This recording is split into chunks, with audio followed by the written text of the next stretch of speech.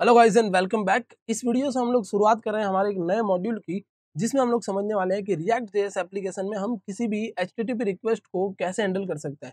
HTTP request हो या चाहे एच रिक्वेस्ट हो, दोनों एक ही टाइप की रिक्वेस्ट होगी। बस उसमें सिक्योर और अनसिक्योर का एक छोटा सा डिफरेंस होगा। बट इस चीज़ से मैं आपको ये क्लियर करना चाहता हूँ जस्ट कि एचटीटीपी रिक्वेस्ट का मतलब ये नहीं है कि आप एच रिक्वेस्ट को हैंडल नहीं कर पाएँगे। मैं इन शॉर्ट ये कहना चाहता हूँ कि हम लोग कोई भी नेटवर्क रिक्वेस्ट हैंडल कर पाएँगे हमारे इस मॉड्यूल के अंदर। तो चलिए समझते हैं कि एच रिक्वेस्ट या एजेक्स रिक्वेस्ट एक्चुअली होती क्या है?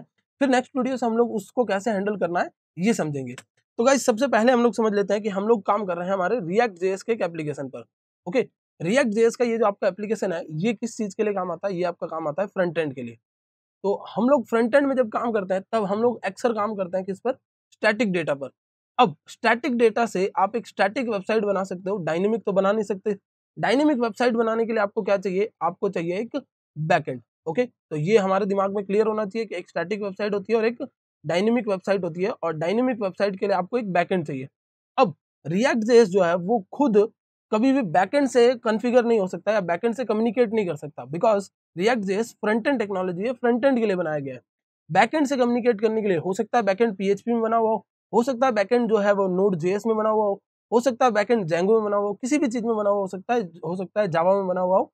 बैकएंड किसी भी अलग टेक्नोलॉजी में हो सकता है बट रिएक्ट जेएस जो है वो उनसे डायरेक्ट कम्युनिकेट नहीं कर सकता। तो रिएक्ट जेएस को क्या करना पड़ता है? रिएक्ट जेएस को एपीआईज हिट करनी पड़ती है। एपीआईज क्या होती है? APIs are application programming interfaces okay इसमें क्या होता है गाइज़ तो जो बैकएंड होता है बैकएंड क्या करता है? आपको एक लिंक बना के देता है, एक यूआरएल बना के देता है। और ये जो यूआरएल है, वो किसी पर्टिकुलर डेटा सेट को रिप्रेजेंट करती है और उसमें आप कुछ इस टाइप के ऑपरेशंस कर सकते हो क्रूड ऑपरेशंस क्रूड में जो सबसे पहला आपका आता है वो होता है क्रिएट देन होता है आपका रीड और फिर अपडेट अपडेट करना ओके यानी डेटा को अपडेट करना ओके अपडेट के बाद जो आपका ऑपरेशन आता है वो होता है डिलीट तो ठीक है, ये सारे ऑपरेशन होते हैं क्रूड ऑपरेशन आप कर सकते हो। अब रिएक्ट जेएस में अगर आपको क्रूड ऑपरेशन करना है तो आपको क्या करना पड़ेगा? बैकेंड की मदद लेनी पड़ेगी बट रिएक्ट जेएस डायरेक्टली तो बैकेंड से कम्युनिकेट नहीं कर सकता। तो इस केस में जो रोल होता है वो किसका होता है? एपीआई का होता है। एपीआई कुछ इस तरीके से बैकएंड को रिएक्ट जेएस से यानी हमारे फ्रंट एंड से कनेक्ट करती है और एपीआई क्या होती है? कुछ यू होती है। वो यू में भी अलग अलग मेथड से हिट की जा सकती होती है। जैसे कि गेट मेथड से हिट की जा सकती है पोस्ट मेथड से हिट की जा सकती है पैच मेथड से हिट की जा सकती है पुट मेथड से हिट की जा सकती है और डिलीट मेथड से हिट की जा सकती है। तो ये अलग अलग मेथड से हिट की जाने वाली जो हमारी रिक्वेस्ट होती है। अब ये जो रिक्वेस्ट है, वो आपको क्या करती है? एक यूआरएल को एक्सेस देती है। जिस यूआरएल से आप क्या करते हो? बैकेंड से कम्युनिकेट कर सकते हो। तो ये हमारा एच रिक्वेस्ट होती है। अब इसको थोड़ा सा और डीप में हम लोग समझे तो डीप में समझने के लिए जस्ट आपको क्या इमेजिन करना है, आपको इमेजिन करना है एक ये इंटरमीडिएट जो कि क्या है आपकी एपीआई है। ये आपका फ्रंट एंड है ओके तो ये आपका फ्रंट एंड हो गया। और एज इट इज़ ये क्या आपका, ये आपका बैक एंड है। अब यहाँ पर जो आप रिक्वेस्ट कर रहे हो, वो क्या है? एच और मे बी एजेक्स रिक्वेस्ट है। एजेक्स जो आपने बेसिक वेब डेवलपमेंट के कोर्स में ऑलरेडी सीख रखा होगा, आपने जावास्क्रिप्ट में इंप्लीमेंट भी किया होगा। AJAX is asynchronous JavaScript and XML आपको जब पेज पर डेटा रिप्रेजेंट करना हो बट पीएचपी जैसे टेक्नोलॉजी में आपको क्या करना पड़ता था? पेज रिफ्रेश करवाना पड़ता था और जाके डेटा लेकर आना पड़ता था। बट एजेक्स आपका वो काम आसान कर देता है, वो सर्वर पे जाता है, आपके बदले डेटा लेके आता है बट पेज रिफ्रेश नहीं करना पड़ता। सो गाइज़ यही होती है कि एच या एजेक्स रिक्वेस्ट कि आपका जो फ्रंट एंड है, यानी रिएक्ट जेएस क्या करता है? कि एपीआई को यूआरएल को हिट करता है यूआरएल जो है वो बैकएंड पर किसी पर्टिकुलर डेटा को रिप्रेजेंट करती है। उस डेटा में आप क्रूड ऑपरेशन कर सकते हो, जो मैं आपको ऑलरेडी बता चुका हूँ, ठीक है? तो जब भी आप यहाँ से क्या करते हो, एक रिक्वेस्ट करते हो तो ये रिक्वेस्ट एपीआई किसके पास लेके जाती है? बैकएंड के पास।